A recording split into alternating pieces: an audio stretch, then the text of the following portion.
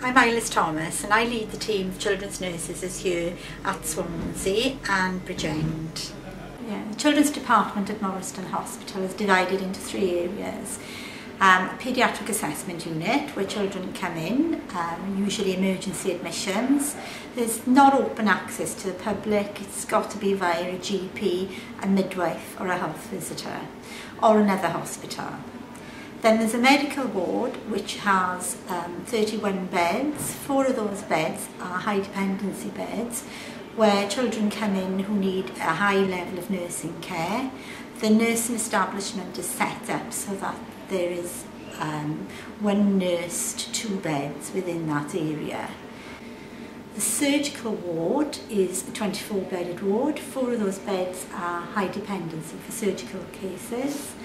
Um, we look after children who have um, all sorts of operations such as ENT, orthopedics, MaxFax, um, general surgery, the, we have the cleft lip and palate service there. Um, and that's, up, that's open, all the areas are open 24-7. Um, while you're in hospital, you're able to stay with a child. Um, you can sleep at the bedside and we do provide beds for you.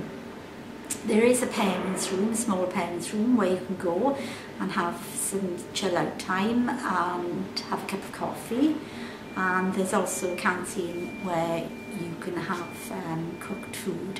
Unfortunately, there's little um, facilities uh, for you to bring your own food in, so we do try and discourage that. Visiting times within the ward is between sort of is parents only up till two o'clock in the afternoon between two and seven then we do encourage um, grandparents and siblings in until seven o'clock in the evening and then after seven o'clock in the evening then it's just one parent or carer to stay overnight.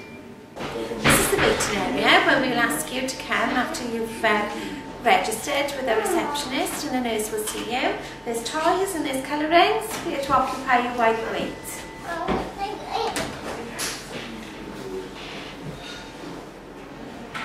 This is a triage room and this is where the nurse will bring you and your mum and dad and have a chat to see what has been going on in the last few days when you haven't been well. And in here we'll check your blood pressure, your pulse and your temperature. Going to go tight and then it'll go back down. Just relax. Okay.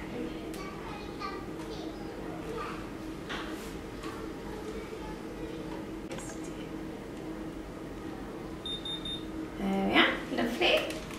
Good girl. Okay, didn't hurt it. Mm.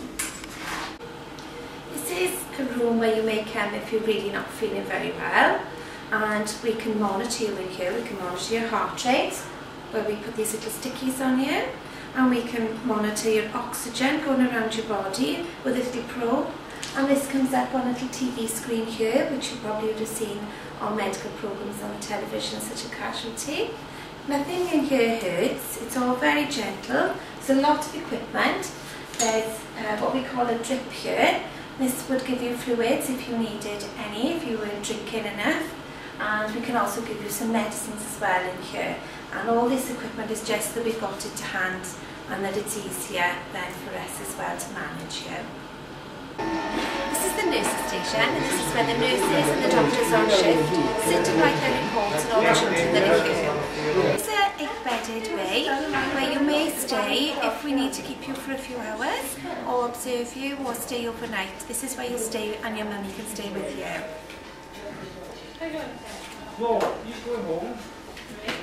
This is a high dependency unit where children come who need close observation and care. We need to keep a close eye on you. Um, when you're in this unit then you'll be monitored carefully. We're going to monitor your heart rate, your pulse. We're going to monitor the amount of oxygen that's circulating in the body and if, you, if that's a little bit on the low side then we're able to give you some oxygen to make that better.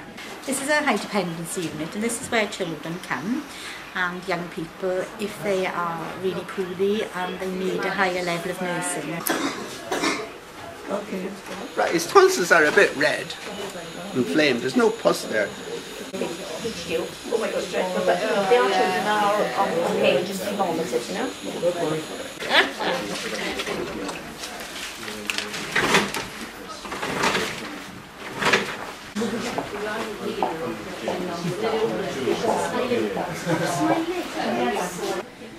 Sometimes you may need to be moved from this unit into another area, such as if you need a higher level of care again, then you may need to go to Cardiff to the intensive care unit there if you need that level of care.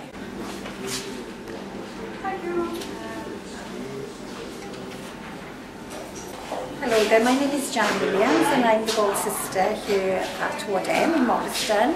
Um, Ward M is a 20 bedded surgical ward, so that means if you break your arm, a swing or whatever, you'd come into here to have it fixed.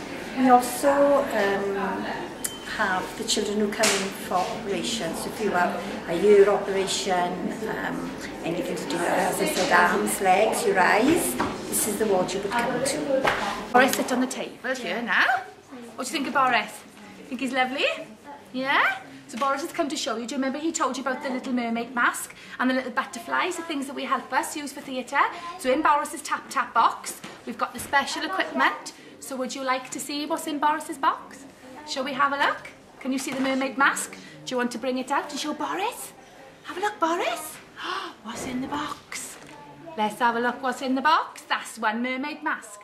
Surgical HDU area, it's a four bedded room and if you have an operation and you need that extra special um, treatment with a one-to-one -one nurse, this is where you come.